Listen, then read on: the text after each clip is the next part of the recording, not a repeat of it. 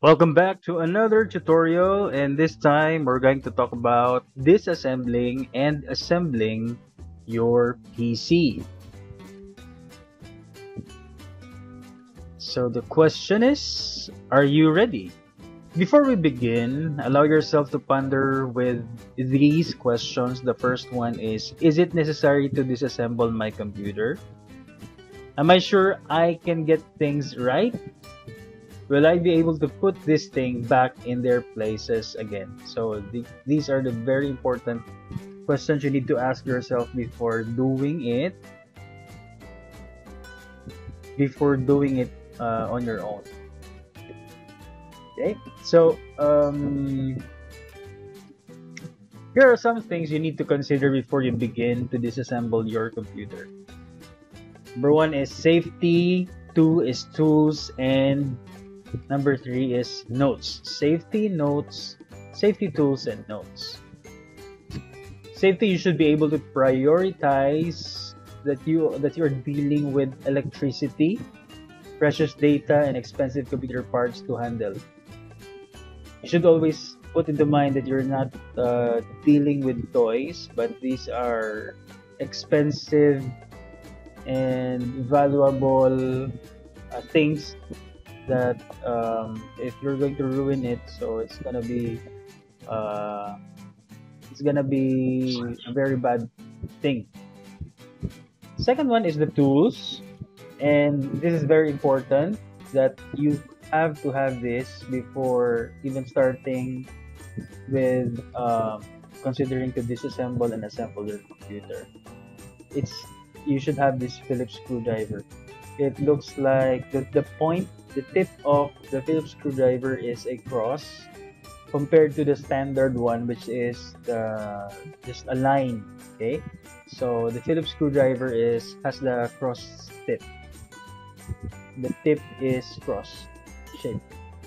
And notes okay this is very important especially if you're starting. You're not yet that experienced in doing the disassembling and assembling. So you have to take note of uh, what you are supposed to do before and after.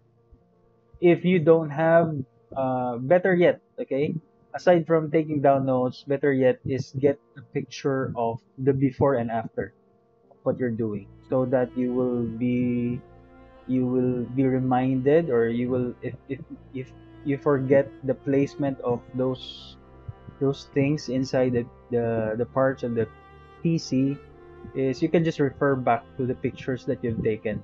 That should be uh, very, very helpful. The picture should be very, very helpful. Okay, so those are the three things that you need to remember safety, tools, and the notes. So um, all are now set for the procedure. Again, think safety, have the appropriate tools, and have a notebook alongside to take important notes or better yet, get pictures Okay. Next is we have to get started. And this is the step-by-step -step process in disassembling your PC. Number one is prepare all your tools. A long Phillips screwdriver, this one. A rubber eraser, don't have it here, but you can uh, produce it.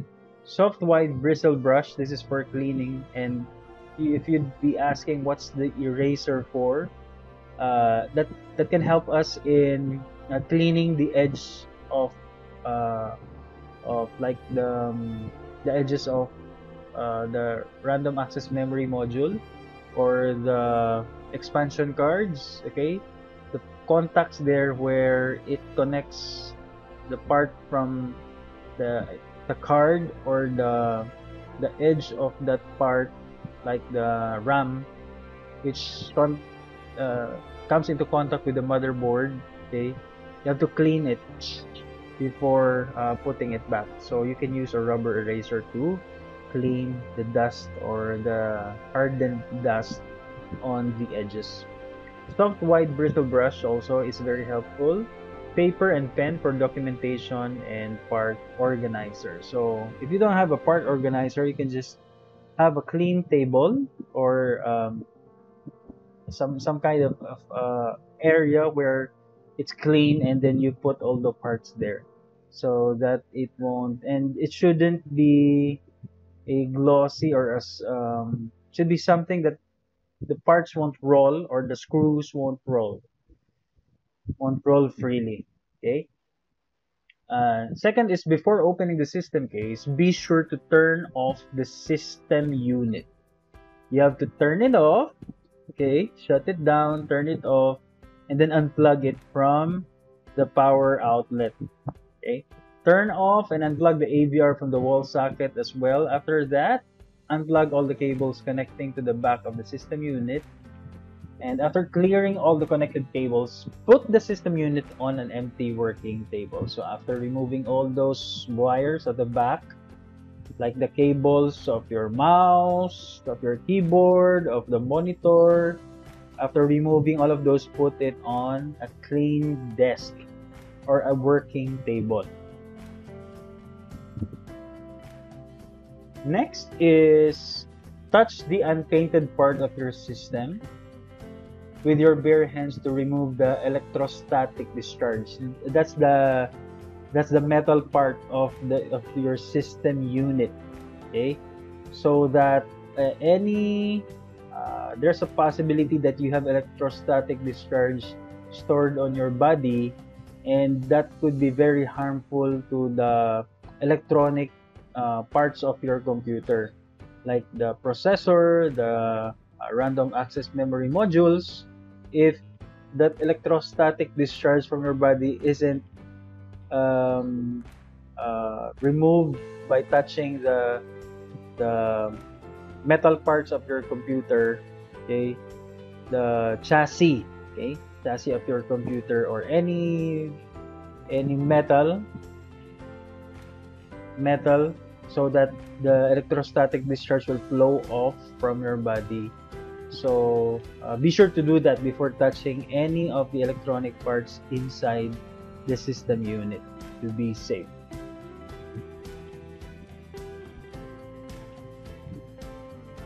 Next is remove the screws of the side cover of the system case opposite to the side where the input output ports are located. This these are the input output ports this one. Okay to avoid losing the screws you had to remove you can put those in the organizer or if you don't have the organizer so I'd have told you you, you have to have a a clean area where you can put all of those screws and all of the other parts that you're going to remove off the PC or the system unit. Okay there. Turn your system side down where the open side of the system unit should be facing upward where you can comfortably look down on the inside of your system case. As you can see, you can see every all the parts here. And uh, that's the other side view. And uh, you have to always remember this also, the beginner's guide if you're a beginner, be sure to document all the things. You can you can use the notes or you can use those pictures. Can take pictures. Unplug all the power connectors and data cables connected to the motherboard. This will help you move freely while disassembling while disassembling takes place. Okay, it would really help if you have a wider area and a clean area for you to be able to uh, put those parts in sequence.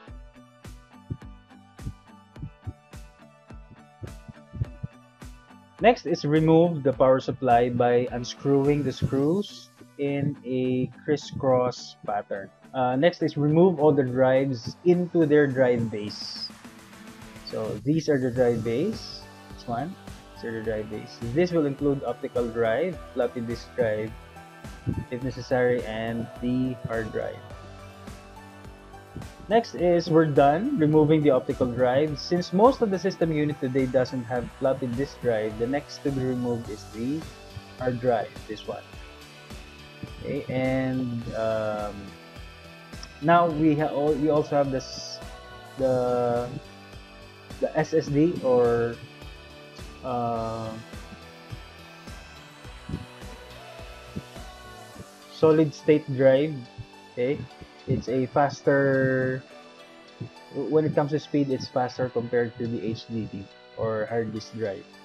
Okay, so similarly, you have the same connections such as the power and the data cable.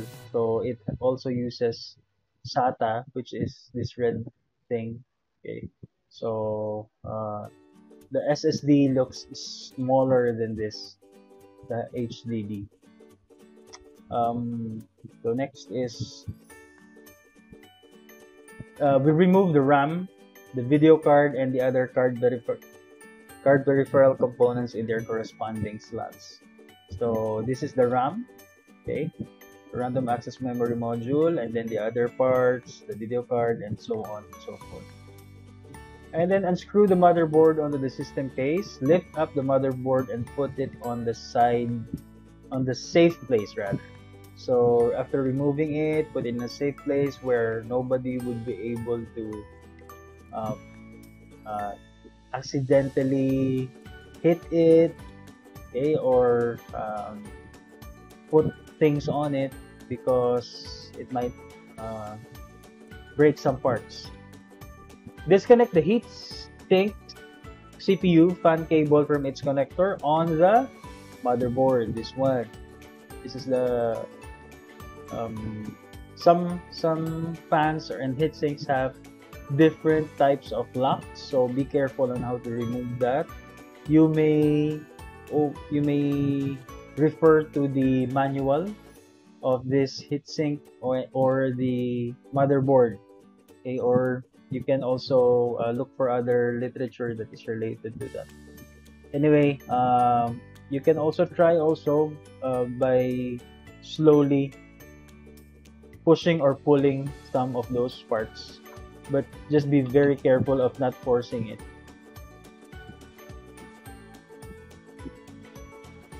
Sorry that's under construction. Okay so next is remove the cpu's fan and heatsink. So this is the fan and under it is this this uh, silver colored thing is the heatsink. This is responsible for absorbing the heat from the processor. And then take note this step is quite tricky and you really need to do this carefully and you really need to to have some guidance from elders or experienced ones because this is a very important part of your system unit and that is the processor. Okay? Once you're done removing the fan and heat heat sink the next is removing the cpu itself and its processor socket this is the, the one inside is the processor and this is the the holder and the lock so be very careful with it uh, other processors and locks are different from these ones, so better refer to the manual of the motherboard just to be safe. So depress the CPU socket retainer for this kind of uh, CPU is this is how you do that. We press the CPU socket retainer lever and this one. This, this is the socket lever retainer. So you can deep, depress it and then pull it. Some some uh, other mechanism is that you push and then pull it to the side and then turn it over. It depends okay? So for this type this is the step on how to do it um, second one is when you have released the lever from the retaining plate lift the lever to its fully open so upright position. This action releases the pressure on the hinged CPU socket retainer. The top of the CPU has some residual thermal compound. Uh, now, next is lift the unhinged side of the CPU socket retain retainer its fully open upright position. This action exposes the CPU, and then the CPU is mounted on the PCB or printed circuit board, the PCB, that is keyed notched on two opposite sides. Okay, so for that kind of CPU. Better yet, if uh, you have the, the manual, it would really be very, very wise to consult your manual before doing that. Next is the last step in disassembling and that is to clean the chassis or the chassis with your brush. Also clean your motherboard and the rest of the peripherals being removed. You can use eraser. You can also use uh, the WD-40 Specialist Contact Cleaner. Okay, it dries off quickly because it um, it, it evaporates. Okay, it's not watery after spraying it, it will clean off the surface and then it will evaporate right away. So there's no problem with um, with liquid for that matter. Okay, you can also use brush or you can also use a um, you can also use the eraser to, to clean off the edges of those cards. Now the questions are the process in your disassembling clear or not? If not, feel free to go back to the processes from the beginning to fully understand. You can just go back to the previous part by rewinding this video. If everything is clear, I assume you are now ready to learn the right process in assembling your PCs of putting them back all together again. So in assembling your PC, just take note of the last out, first in policy. This will be our guide to properly assembling your PC.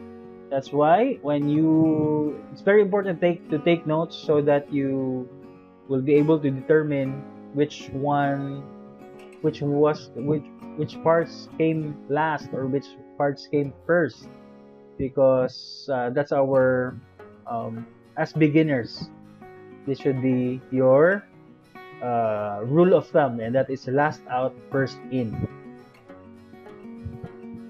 Prepare the workspace before opening the computer case. Attach the first attach first the following components into the motherboard. The CPU is secured uh, to its socket on the motherboard with locking assembly. Caution when handling CPU, do not touch the CPU contacts. That's very, those pins are very, very brittle. You might, it might hit a little bit of some of the edges and it will just get, um, uh, it will get folded and then if you try to press it, it will even be worse. So your CPU would be damaged. Imagine uh, 10,000, 9,000 pesos and above worth of computer part and just because just a pin was just one pin was folded because of uh, uh, carelessness and you need to buy another one. That's very very that's very very um, it's really gonna hurt your your your pocket. Uh, fan and sink and finally is the not that's not finally actually that's the third part is you place back the RAM there. That's how you return the uh, processor. Position the CPU over its socket so that the notches on the PC be aligned. So there's a guide. It won't get inside the the socket if it's if it's not properly placed on with its uh, right configuration but if you press forcefully press it and if it's not on the right place you're you're going to damage the the pins and the processor processor itself. So take a look at the guide. Uh, there's uh, some kind of guide on your processor with the socket of the processor or the one that's attached to the motherboard. So uh, there's a there's a guide there so be sure to follow that depends on one processor to another. So carefully set the CPU onto the socket. When correctly positioned, the CPU lies flat in the socket and the notches on the CPU are aligned with the keys on the socket. When the CPU is positioned in the socket, lower the hinged socket retainer and lower the socket retainer lever process, processing it downward and secure it under the lever retaining clip. Again, as I've told you earlier, that you have to consult your motherboard on how you install the processor. Because one type of motherboard and processor differs from the other. Okay, but if you have this similar type of processor, you can follow the the, the steps. Okay, these steps. Okay, so you press back again the lock. Putting back after the processor, you install the heat heatsink together with the fan uh, by using the locks. And uh, install now your motherboard onto the chassis. So when it's all you have connected everything you can put back the the motherboard together with the other parts as one. Make sure to screw them not too tight or else you're gonna break the motherboard the motherboard okay where the screw is located. So possib- possibly it could also damage the motherboard itself because uh, all the circuits are embedded onto that motherboard. So be very very careful not to screw it too tight. Uh, insert your motherboard's IO shield. This this is the IO shield. When it when you tried to remove the motherboard I'm sure that uh, this didn't come with it. Then place the motherboard onto your empty case. Make sure to screw them not too tight again. And uh, we first install the drive or the hard drive. Remember last out first in. Uh, install all the internal and external drives in their base. Those are the optical drive the floppy drive we still have that. Uh, but uh, as for our computers now uh, floppy drives are obsolete. Now it's time for the optical drive to return to its proper place.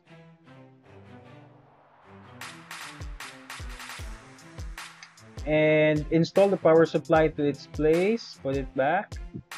And after installing the power supply and the drives connect the connect properly all the power connectors and the data cables to the motherboard to distribute electricity to the different components. There. Put back all those power cords and data cables as well. Turn them. So it would really help if you were able to document and get pictures of those parts before disassembling it so that you can put, put them back together exactly as how it looked like on the pictures you took. Return the cover of the chassis watching out for internal wires and cables. Connect all the peripherals at the back of the unit also and also the power cord. Lastly, lastly, turn on your computer to check if it's working properly. If it does not work, so check again your connections, especially the power connections. Uh, you might have uh, forgotten some of it, or it might not be uh, connected properly, so just reconnect it. And that's all, folks, for our as disassembly and assembly of your personal computers. Thank you for your time. Have a nice day. Bye.